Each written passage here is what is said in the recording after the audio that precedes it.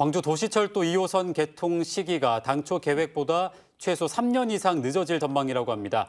이에 따라 시민들의 불편도 가중될 것으로 보입니다. 네, 오늘 시사와이드에서는 광주 도시철도 2호선 공사 지연에 대해서 자세히 살펴보겠습니다. 전세영 캐스터 광주 경제정의 실천 시민연합의 오주섭 사무처장과 함께합니다. 안녕하십니까?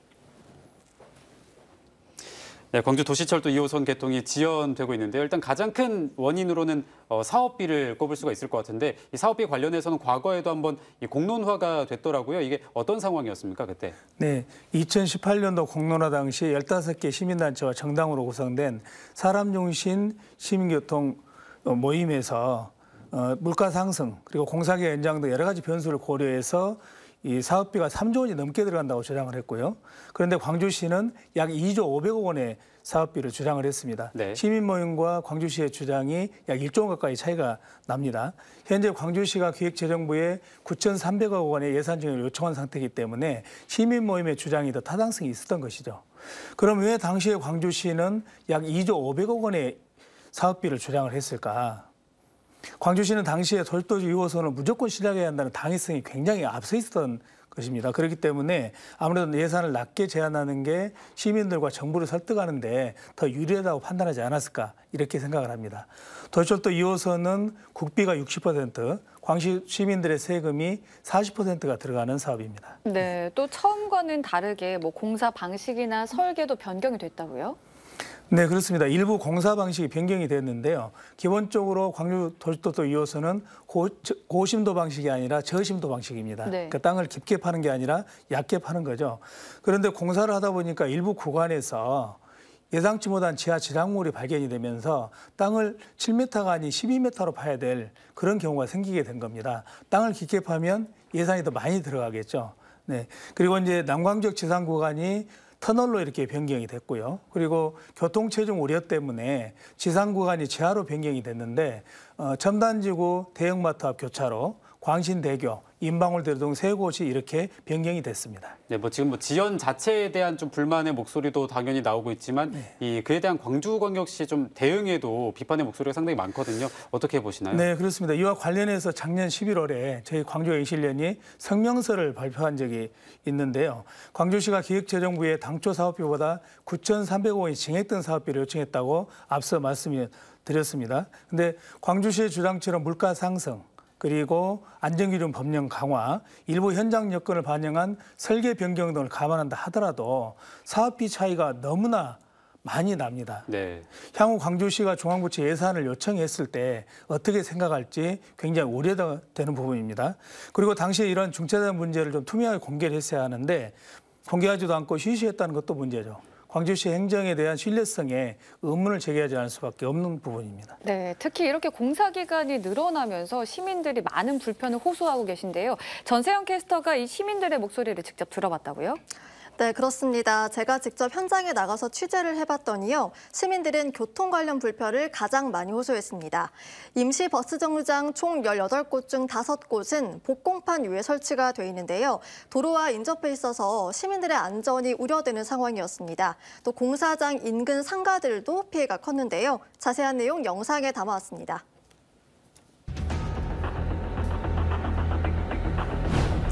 광주시 도시철도 2호선 개통 시기가 원래 계획보다 최소 3년 이상 늦어질 것으로 보입니다. 시민들이 불편을 겪는 기간도 그만큼 늘었는데요. 특히 매일 겪는 교통 문제가 심각합니다. 어, 퇴근 무렵 6시부터 7시 사이 아침 뭐 7, 8시 사이는 조금 그 어, 차가 밀리고 그러죠. 예, 그 점은 조금 불편합니다만은 에, 그걸 감안해서 조금 더 일찍 나오거나 피하려고 합니다. 예전에는 가령 1시간 정도 갈 거리였는데 요즘은 1시간 반 정도 걸리게 돼가지고 출퇴근길 교통체증은 기본이고 임시 버스 정류장은 시민들의 안전을 위협합니다. 광주 도시철도 2호선 1단계 토목공사 현장에 마련된 임시 버스 정류장은 총 18곳인데요. 그중 5곳은 이렇게 복공판 위에 설치돼 있습니다. 복공판 위에 설치된 임시 버스 정류장은 시야 확보가 어려워서 버스가 오는지 확인하고 싶을 때나 버스를 타야 할 때도 차도 바로 앞까지 걸어 나가야 했는데요. 아무래도 정류장이 도로 쪽에 있다 보니까 사고 위험이 좀 높아 보이더라고요. 사람들이 버스를 타려다 보면은 앞에 나가시는 분들도 있고 잡으려고 손을 내미시는 분들도 있다 보니까 이러다가 좀 사고가 날 수도 있겠다 생각이 들었어요. 인도 쪽에 기존의 유계 승강장이 남아있는 곳도 탑승 위치까지 거리가 멀어 무용지물입니다. 요즘같이 불볕더위가 기승을 부리는 날씨에 햇빛 가림막이나 의자 하나도 제대로 설치가 돼 있지 않은데요. 이 때문에 버스를 기다리는 승객들의 불편은 이만저만이 아닙니다. 가림막이 없어서 좀 불편한 것 같아요.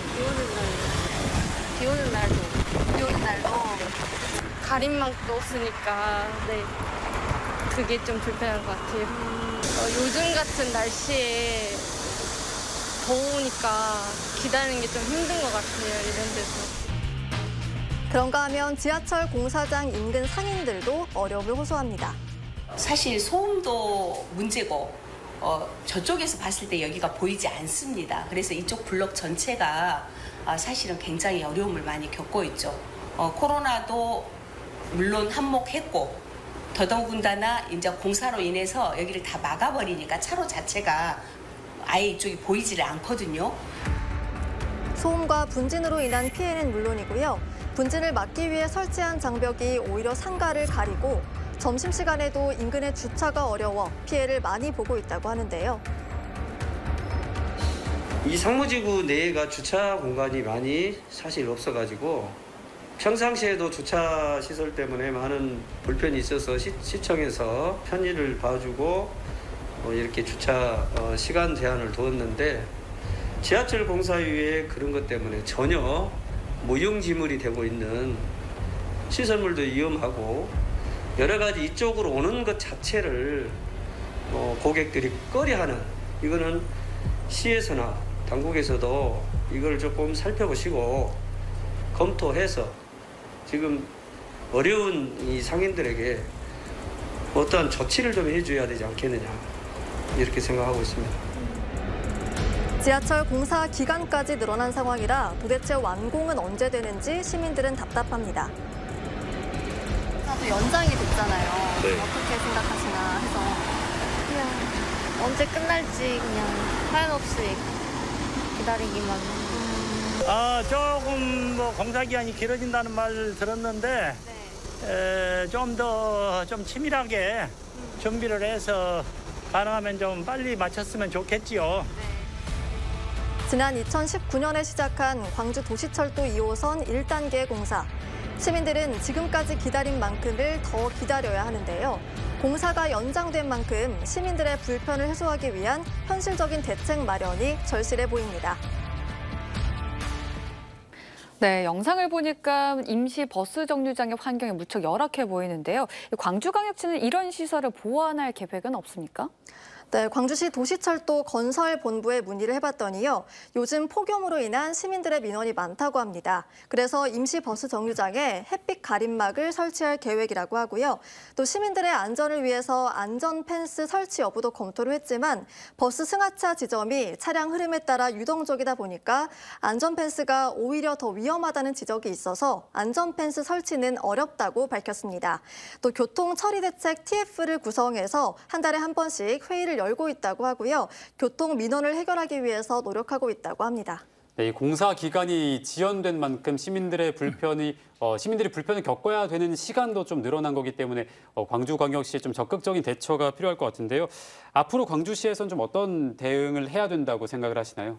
네, 말씀하신 것처럼 시민 피해와 불편이 이만저만이 아닌데요. 광주시는 전문가와 관련 시민단체 등과 함께 특별 대책반을 구성하고 교통 문제 등 관련 이 어려움들을 함께 풀어나가야 될 걸로 보입니다. 직접 현장을 찾아가서 보고 듣고 또 대책을 마련해야 되지 않을까 이렇게 생각을 합니다. 네. 그런데 이제 최근에는 자재비도 오르고 전반적으로 물가가 오르다 보니까 자연스럽게 사업비가 더 증가할 수밖에 없을 것 같은데요. 이 사업비 부족을 어떻게 좀 해결할 수 있겠습니까? 네, 예산 문제 해결이 누구나 다 알다시피 굉장히 어려울 거라고 예상을 하는데요. 결국 강기정 시장께서 국회의원 삼선과 청와대 정무수의 경험을 바탕으로 이 문제를 풀어낼 수밖에 없습니다. 이제 지방선거가 끝난 지 두 달, 시장으로 취임한 지 한 달이 넘었기 때문에 아마 도시철도 2호선의 전반적인 문제에 대해서 파악했을 거라고 그렇게 생각을 하거든요. 따라서 이제는 민선 측위를 탓하지 말고 기획재정부와 사업비 협상에 총력을 기울여야 되지 않을까 이렇게 생각을 합니다. 네, 저희가 뭐 지금까지 이 광주 도시철도 2호선 2단계에 대해서 좀 얘기를 나눴는데 사실 3단계 구간은 뭐 공사 추진을 하는 것 자체에 좀 물음표가 붙어 있는 상황이잖아요.